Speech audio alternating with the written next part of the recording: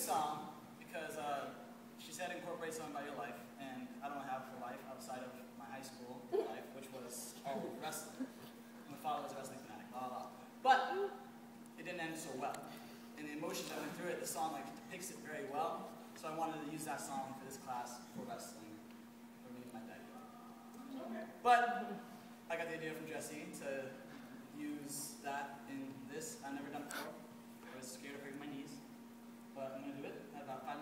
class to try? I think we can do it.